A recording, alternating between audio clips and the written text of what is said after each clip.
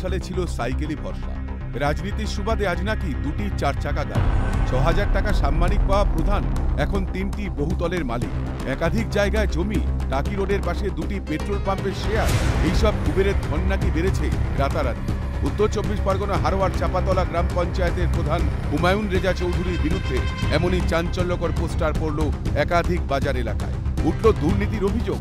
স্থানীয়দের দাবি, রাতের অন্ধকারে কে বা কারা এই পোস্টার মেরেছে তারা কিছুই জানেন। না। কি জানি কে রাতের অন্ধকারে কেরা মেরে গিয়েছে? এইসব পোস্টার তোমার। পোস্টারে পোনাদের দুর্নীতি সব ব্যাপারে সব লেখা আছে ঘরের টাকা থেকে নিয়ে। হ্যাঁ যেখানে যা সব দুর্নীতি যেসব এসব উনি লেখা। এদিকে এলাকায় পোস্টার ঘিরে শুরু হয়েছে রাজনৈতিক চর্চা যথেষ্ট অস্বস্তিতে শাসক দল। কিছুটা ঘটনার দায় চাপানোর চেষ্টা বিজেপি ও আইএসএফ এর দিকে। তদন্ত করে উচ্চ নেতৃত্বের কাছে রিপোর্ট দেওয়ার আশ্বাস তৃণমূল ব্লক সভাপতি। পোস্টারগুলো কে বা কারা করেছে বলতে পারব না। হয়তো বিজে বিরোধী আইএসএফ বিজেপি করতে পারে বা এলাকার চাপাতলা অঞ্চলের জনরসও হতে পারে। নিশ্চয়ই আমার কানে যখন এসছে আমি অ্যাজ এ ব্লক সভাপতি হিসেবে এরা তদন্ত করব এবং পোস্টারগুলো ছেড়ে দিতে বলেছি। হোক তদন্ত করে যা রিপোর্ট হবে আমি আমার জেলা নেতৃত্ব বা ঊর্ধ্বতন নেতৃত্বকে আমরা জানাব। অন্যদিকে পোস্টার ঘটনায় বিরোধীরা একযোগে শাসক দলের অন্তর্দ্বন্দ্বকেই দায়ী করেছে।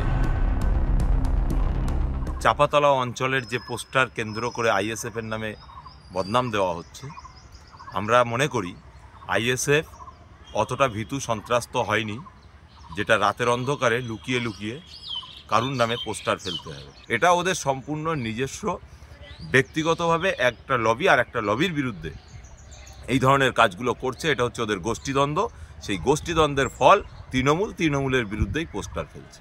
আমরা দ্বার্থহীন ভাষায় বলতে পারি, এই যে পোস্টারিংটা হয়েছে, এটা তৃণমূলেরই লোকজন, অর্থাৎ প্রধানের সাথেই চলাফেরা করে, তৃণমূলের ঝান্ডা নিয়ে ঘোরে, এরকমই লোকজন এই পোস্টার মেরেছে। তার কারণ তারাই একমাত্র এই প্রধানের হারির খবর রাখে এবং আজকে অন্য কোনো দলের কর্মী বা নেতাদের খেয়ে কাজ নেই বা তারা এই প্রধানের নামে এই খুঁজে নিয়ে পোস্টারিং করতে যায়নি। পোস্টার জুড়ে পঞ্চায়েত প্রধানের খুঁটিনাটি তথ্য লুকিয়ে। এত তথ্য কি বিরোধীদের পক্ষে জানা আদৌ সম্ভব?